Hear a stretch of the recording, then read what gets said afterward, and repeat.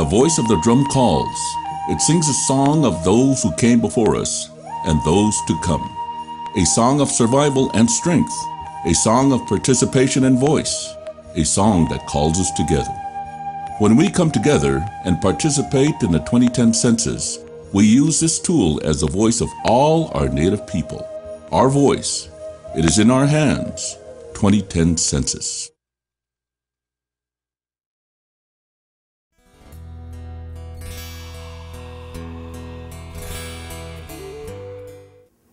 Hello, I'm Kimberlie Acosta. Welcome to the Native News Update on Friday, April 9th. Many of the stories you hear here can be found at our website, IndianCountryNews.com. And here's the news for the day for the Associated Press and other Native news sources. A federal judge extends a deadline for Congress to approve a multi billion dollar settlement for Native American tribes. The litigation, known as the Cobell lawsuit, was filed in 1996 in the name of Elouise Cobell, a member of the Blackfeet tribe. Cobell, along with hundreds of thousands of other American Indians, will receive part of the settlement for years of theft and mismanagement by the Department of the Interior. Congress must now approve the settlement in which the government admitted to swindling the tribes and their members out of royalties for oil, gas, grazing, and other leases. After a vote by the North Dakota State Supreme Court and a Board of Higher Education decision April 8th, the University of North Dakota will no longer be known as the Fighting Sioux. After a four-year legal battle about the school's name and mascot, the court ruled that the board had, legal, had the legal authority to eliminate the school's nickname. Supporters say that the Fighting Sioux nickname shows pride and tradition, but the NCAA ruled that the nickname was hostile and offensive. The school will, will retire the nickname by November 30th, 2010. The Wiyot Yurok tribes, along with the Resighini Rancheria and Blue Lake Rancheria, recently passed a policy that prohibits commercial tobacco companies from giving away free tobacco samples on their tribal lands. The use of non-commercial tobacco for traditional and ceremonial purposes is excluded from this policy. According to Liz Lara O'Rourke of the United Indian Health Services, American Indian youth start smoking at the youngest of ages and report more frequent tobacco use. The commercial tobacco industry has identified American Indian communities as an untapped and unprotected opportunity to maximize profits beyond the limits of state and county regulated jurisdictions. By prohibiting free tobacco sampling, the tribes are showing their commitment to the health and wellness of their people and are being responsible tribal governments. A former logger who started his own construction company has been named California's Small Business Person of the Year. Hal Hays, the owner of Hal Hays Construction in Riverside, will join other small business owners and entrepreneurs from across the country at the U.S. Small Business Administration's National Small Business Week event set for May 23rd through the 25th in Washington, D.C. Hays and his wife Denise expanded company operations in 2001. With bonding secured, Hale became A8 certified through SBA as a minority small disadvantaged Native American owned business in 2002.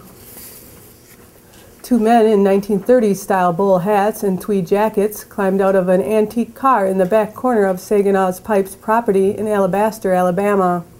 They approached a couple of Native American construction workers and asked them if they wanted the chance to make history by working on the Empire State Building. The workers looked at each other and nodded. Then the director, Jason Ruha, yelled cut and the camera stopped rolling. A film crew shot the pilot scenes for a new television show among the steel beams at Saginaw Pipe in Alabaster on April 7th. The scene is for a television show entitled Patches Through the Eyes of a Child, which will tell the stories of how every ethnic group in America had a part in the building of America. This episode is called Skywalkers. For Renny Ro Roker, the show producer, the series is a chance to share the true history of our nation in an entertaining way. He said that not many people know about the impact the Mohawk tribe had on the creation of famous buildings like the Twin Towers and the Empire State Building. We might never have had any skyscrapers without Native Americans, he said. Notah Begay is making his Golf Channel on-air debut as a studio analyst during the Masters.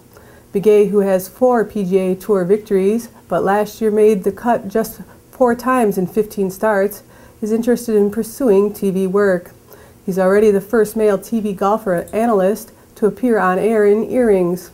That's a testament to my commitment to the Native American culture, where many men wear earrings. I'm not just up here taking up space.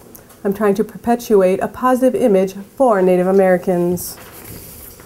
Oklahoma's congressional delegation will introduce a resolution in the U.S. House of Representatives honoring the life of former Cherokee Nation Principal Chief Wilma Mankiller, who passed away earlier this week from pancreatic cancer.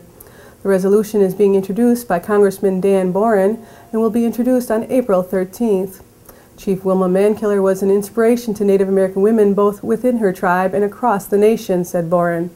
Her service to her tribe and her dedication to the advancement the role of women within it set is a strong example for young Native American women everywhere to follow.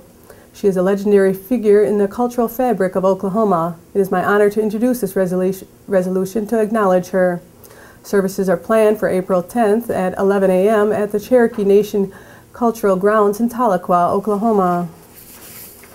As of last week, musician Joanne Shenandoah was fortunate to get the news that Wilma loved a song she had written based on her questions to her in a book Wilma wrote, Every Day is a Good Day. She was able to hear it and told Joanne, Beautiful, thank you. Joanne said the world was blessed to have such an amazing spirit among us. She was a wonderful friend and a great inspiration.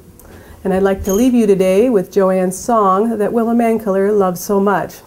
Thank you and have a grand day. After all is said and done, what will be your legacy? Will the rivers and streams and all waters flow clean? Will your footprint in the sand be the only mark you leave?